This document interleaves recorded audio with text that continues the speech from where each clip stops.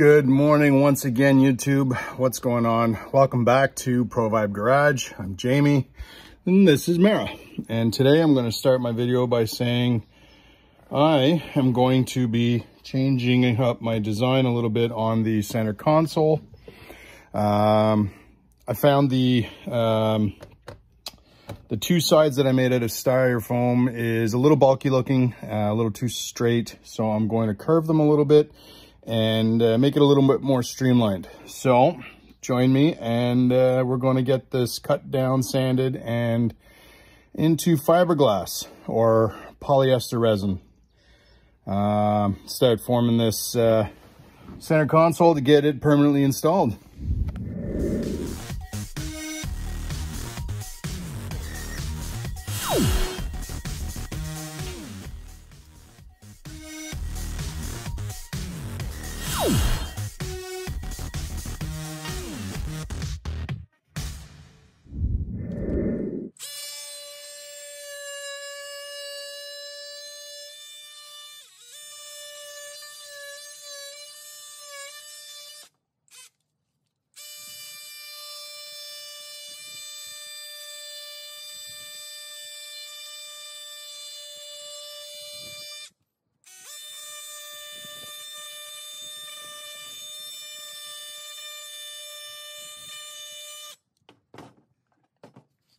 Okay, so the first thing I did was take the straight um, area, as you can see here. I marked it, cut it, and now I got to smooth it.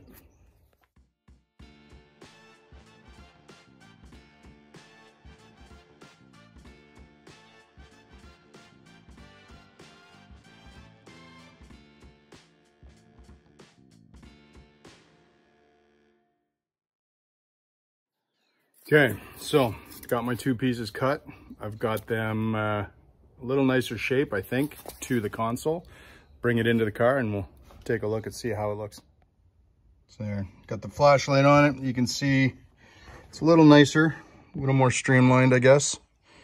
Um, a little hard to see with the outside flashing through, but it allows me a little bit easier access to the CB as well. So that's why I was thinking of this. Instead of having this big hunking whatever sticking up, kind of have it streamed back a little bit more. And uh, yeah, allow me some little easier access to everything. This I'm going to mount out here.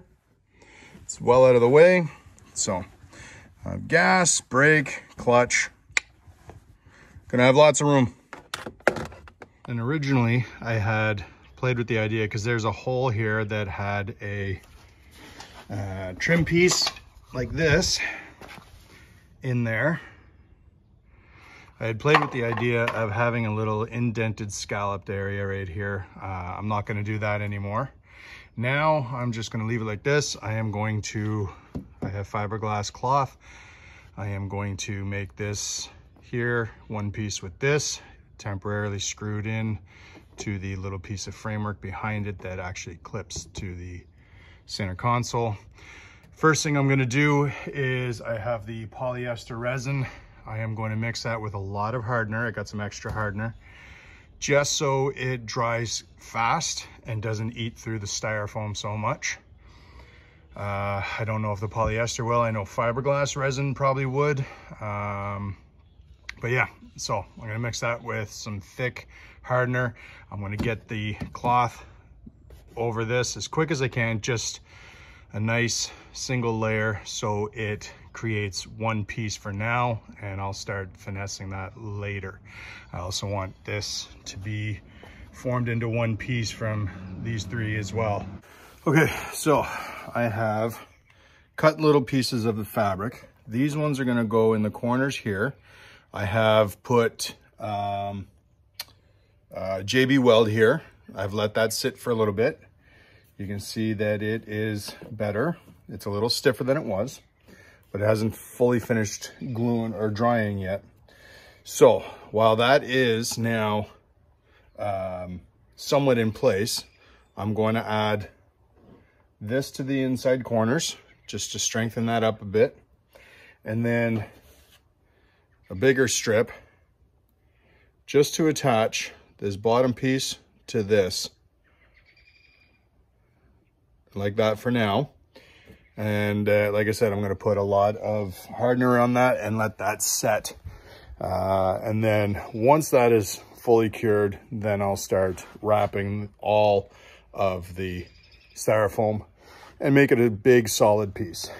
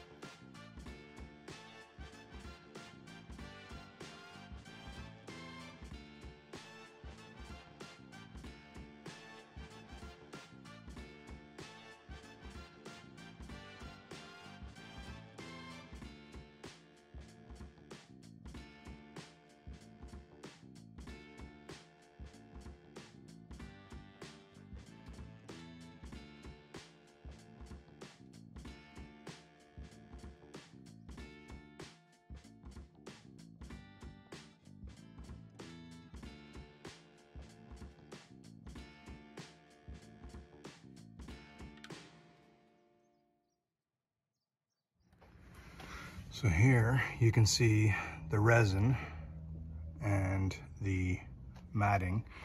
And here you can see that it has started to eat into the styrofoam a little bit. It's not so bad, it's already hardening up. And how I've created a solid piece. Um, this will be rounded off eventually. And it will be removable. The uh, frame piece behind here has some clips that go into the uh, center console. So I'll be able to remove this once I'm done.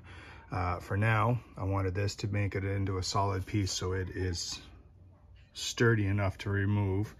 And then I'm going to build a piece that will cover the back as well here. Once that's done, I can continue on with the fiberglassing. It's not so bad eating into it right yet. Um, a few layers and it should be solid. And then I'll be filling it with uh, body putty. So it's now been a couple of days since I've done any work on this console. We had yesterday and today a bunch of rain, got a little chilly, and uh, I'm kind of working, you know, just outside the garage. Fumes and all that from the fiberglass or the uh, polyester resin. I had set it up and test fit it to the center console, the uh, the foam and the insert piece that I'm making. And uh, today, trying to take it back off to continue working on it, I broke the little piece that is going to be my, can't see it, there we go, this piece. So this is broken. I'm now going to make it out of stainless steel. It'll be a lot stronger and uh, it's really not that hard to do. So that's what I'm gonna do now. So now using the broken piece, the broken bezel that I was gonna use to house my CB radio, um, I will transfer the shape and the cutouts and everything over to the stainless steel and get my air saw and cut that out. From there, I can drill some holes and pass through screws into the rigid foam. That should hold it in place and then uh, continue with the fiberglass. So I'm not happy, but shit happens.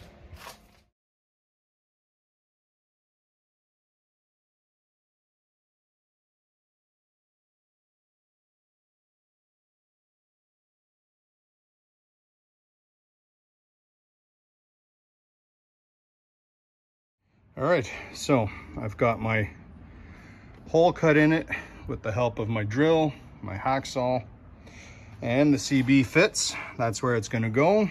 So now, change of plans again. I'm still gonna make the little foam pieces that'll fill this in as well as this side. But I'm now going to make it all uh, fiberglass, all one piece from this to the the bezel around the uh, CB radio as well. I'm going to just, I can't put screws through it. There's not enough meat here. So uh, that was my first plan was to put screws into here to hold it nice and tight, but I'm just going to make it one solid piece. This is gonna have a bracket underneath that will hold it to the center console and to the CB itself. And I will make it secured all as one piece. Uh, I don't think from there that I'll be able to pull it out if I need to. I'll have to tip, probably take the whole console out, but that's okay with me. Once it's in, it's in. I don't plan on taking it back out, hopefully. All right, we are back. It is another couple days later. First nice day we've had in a while. And uh, yeah, you can see everything's still full of rain. It's a little warmer again. Uh, the rain brought the cold and, well, shit happens in the spring, I guess. So I've now got the foam encased in fiberglass and attached to the metal bezel here. Hopefully that's going to do some work. I've got the second piece of foam over there encased and once that dries, I will attach it to this side. Uh, hopefully, long story short, this is going to work and create a nice solid piece, a base foundation that I can build off of. If not, uh, spoiler alert, I have a new anvil coming in the mail, a larger one. I've got a small one back there somewhere behind the Amando. Um, it's good for small things, but now I've got a bigger one coming, so there's going to be a video of me uh, prepping that, I'm sure, coming. Uh, I'm going to build a new stand for it, get my welder back out, to have some fun forging. But I digress. I, uh, I'm hoping that I can get this thing to work, and uh, if not, I'll attempt to make a whole bezel piece out of metal, get that welded, and I'm pretty sure I can get a nice looking one out of that. But we'll see how this one goes first. Uh, I'll end this video with this and possibly start finishing the foam in the next video. Or, like I said, starting to forge it out of metal. So we'll see how it goes and uh, hope you follow me, uh, like and subscribe and see me in the next video, see what happens. And uh, yeah, thank you for watching. And uh, as always, check me out on Instagram, uh, provibe underscore garage. And uh, yeah, see you again.